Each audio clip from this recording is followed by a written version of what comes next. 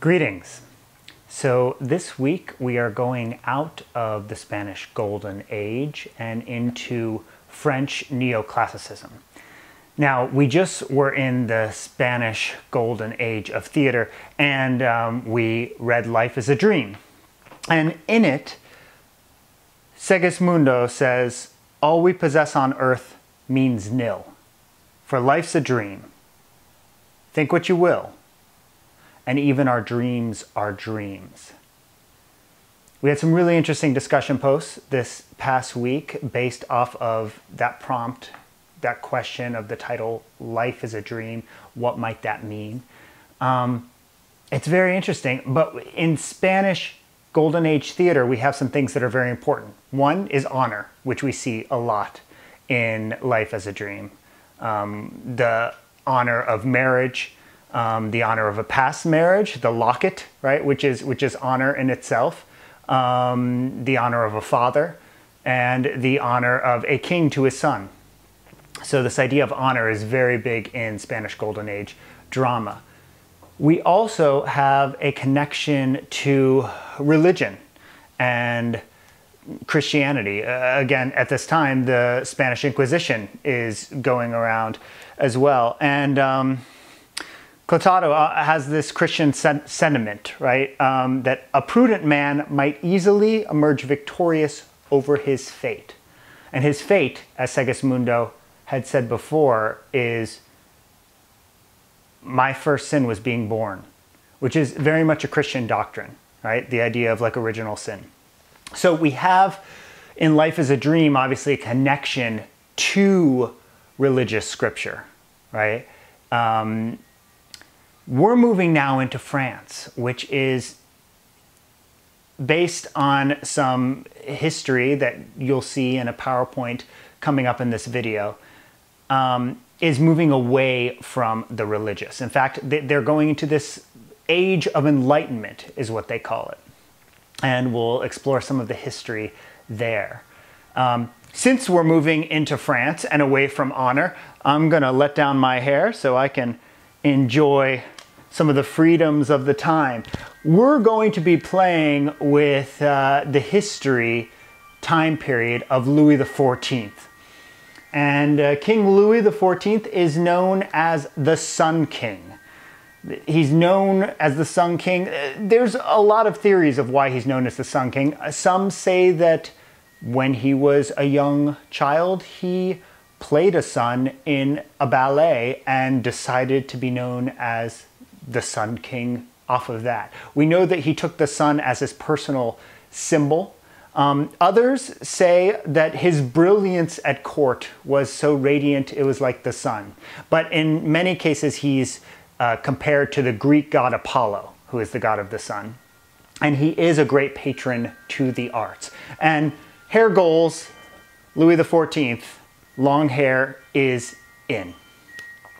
So Let's explore the Enlightenment in this PowerPoint coming up, and then you get to read a satire by Moliere.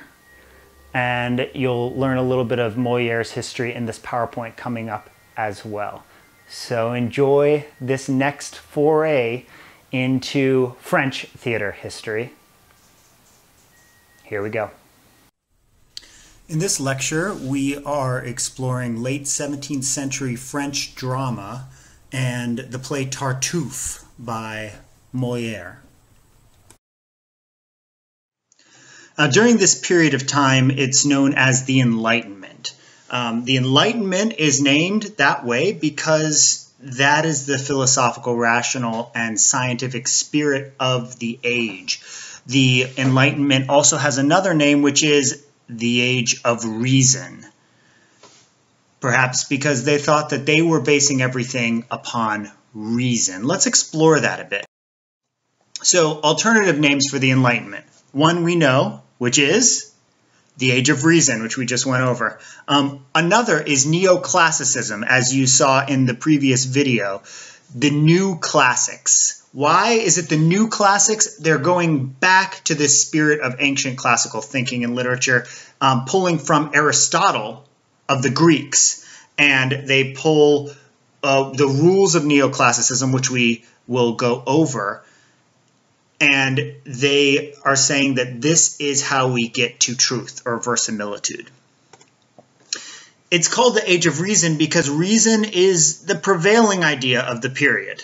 It is getting out of what they consider darker thinking. That's why we call it the Enlightenment, right? Um, so, out of these thoughts that they believe were not based on reason and into reason. And we'll discuss why. Why is reason so important based on the history of the time? It's also known um, by some writers as the Augustan period. And that's primarily used when referring to by English writers such as Pope and Swift who were talking about the Roman Emperor Augustus. So there's four major ideas of the Enlightenment. We have reason. Reason that it's basically saying we are not capable of understanding the truths of the universe.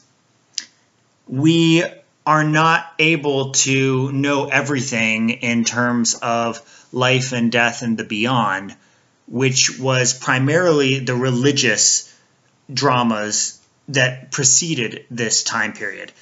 They're saying to accept this is to be reasonable and that we should explore what we can find as truthful. Um, they also emphasized order they believe that there's order in all things. This is an a scientific idea, right? This idea that there is an order in all things, and all we have to do is figure it out through science, through physical, the physical world. We can study it, and we can find the order. They also believe that hierarchies are part of a natural order, the pecking order, if you will. They also wanted stability. So in that idea, it, it had been a very tumultuous time preceding. So we have this idea of stability and that nature itself is permanent and unchanging. Ancient people have the same basic nature as contemporary people, is something that they believed. And then this idea of the general or the universal. Um, individualism or uniqueness are not valued in people. Standards of correct reason and taste are the same for all people. Those are the universal. And why? Why this obsession with reason and order? There had been war in Europe, tons of war in Europe preceding um, this time of the Enlightenment. So we have in France the Thirty Years' War. How long do you think it took? 30 years. Yes, basically it was German Protestant princes from France, Sweden, England, and Denmark, and other places were fighting against the Holy Roman Empire and the German Catholic nobility. So we have Protestants versus Catholics, and we have the Thirty Years' War. In England, we're having civil war and the Commonwealth period. Um, Charles I is beheaded, and a Commonwealth government takes over. So we have lots of disorder and it's all based on religious pursuits. And so they are reacting against that with this age of reason.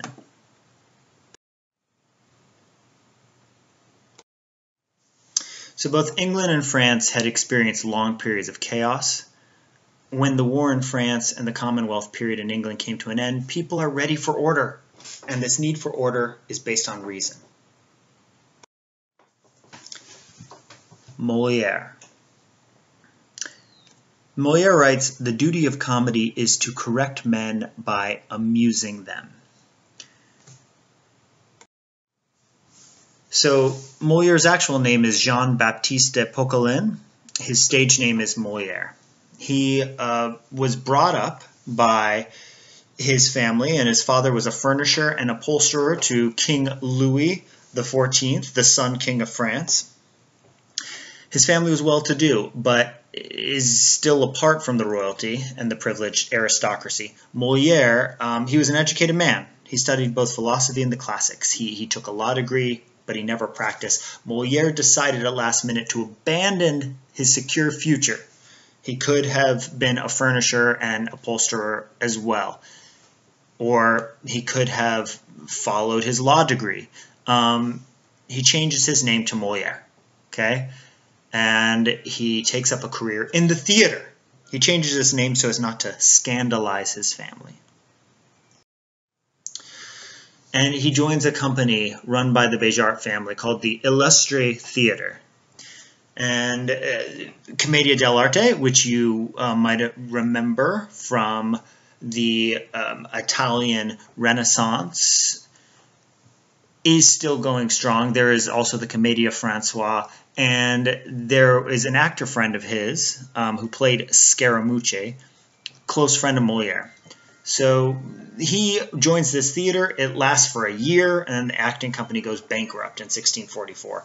Moliere had to actually be bailed out of debtor's prison because he couldn't pay his debts. If you couldn't pay your debts at that time, you would go to prison and have to basically uh, either be bailed out by paying off those debts or um, serve your time. He was forced to leave Paris for about 13 years, and he played in provinces and small towns. He, he basically was touring, a touring itinerant actor. Um, he endured poverty and hardship on this traveling actor's life, and he eventually became director of what was left of the Béjart group. Then Molière began writing plays. In 1658, Louis XIV saw Moliere's troupe acting in one of his comedies at the Louvre.